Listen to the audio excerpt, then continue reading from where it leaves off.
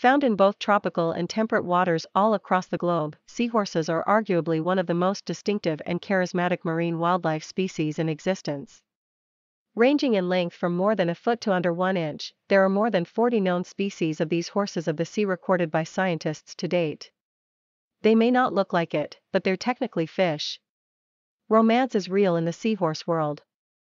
Males take the lead when it comes to the labor of childbirth.